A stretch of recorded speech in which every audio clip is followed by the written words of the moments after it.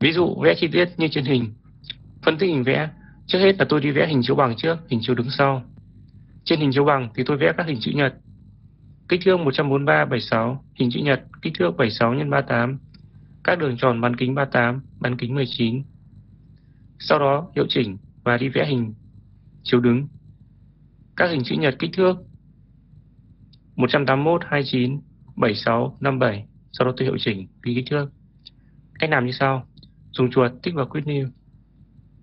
Sử dụng bản vẽ mẫu A4 tiêu chuẩn Việt Nam. Open. Tôi vẽ hình chiếu bằng trước RSC Enter. Tích chuột tại điểm bất kỳ. Nhập vào A còng.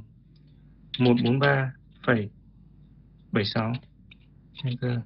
Z A. RSC hình sinh nhật thứ hai, A còng 7638 Move di chuyển. X phá vỡ để hữu chỉnh. Vẽ đường tròn C 38 19 F. Đây là các đường thẳng song song thì tôi tích chuẩn luôn, để vẽ một nửa đường tròn.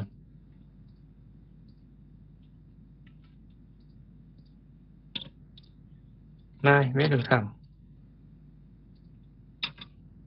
RSC tôi vẽ hình chiếu đứng.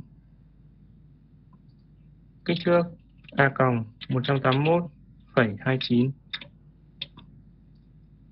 hình chữ nhật tiếp theo A còng 76,57 move di chuyển. Điểm giữa đây và cuối đây. Sau đó tôi phá vỡ x để hiệu chỉnh tr cắt các nét thừa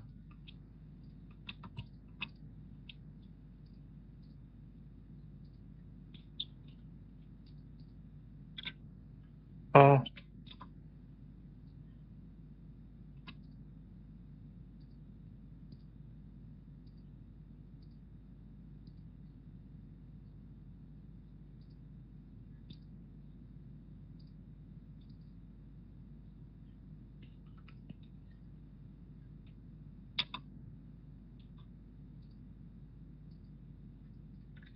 Tiếp theo tôi chỉnh các đường tâm.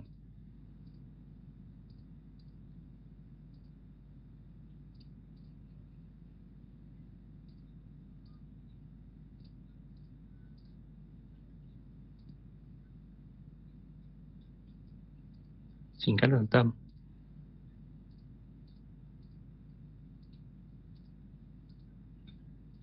Vai vết đường thẳng.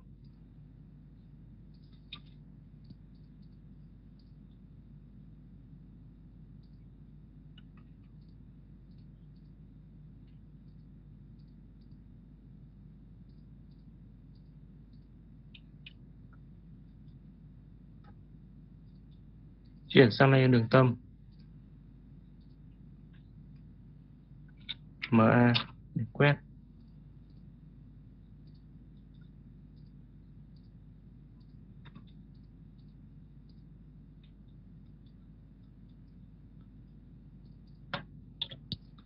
LTS tôi nhập vào ví dụ như là 18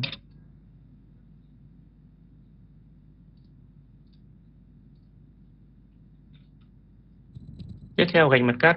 Chuyển sang layer gạch mặt cắt. BH Enter. Tích chuột. Thì nhẹ đây tôi nhập 30 view. Nhỏ quá tôi nhập 40 view. Enter. Tiếp theo tôi đi ghi kích thước chuyển sang layer kích thước đi trước thẳng 76 chữ cái thước nhỏ quá thôi D chỉnh lên to hơn một chút. Tôi chỉnh 3.5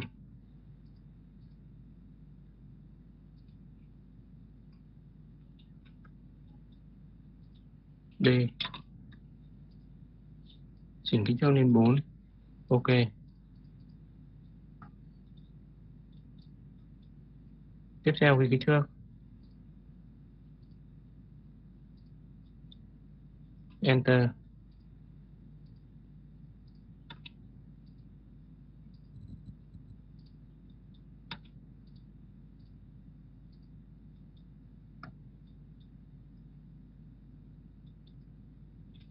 nghĩ cho chiều cao.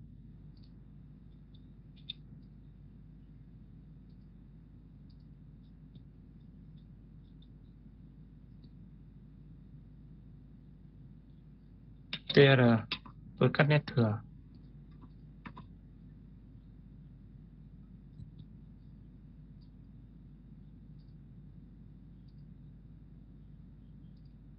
Ba tám. ND chỉnh sửa. Phần trăm phần trăm C. Ok.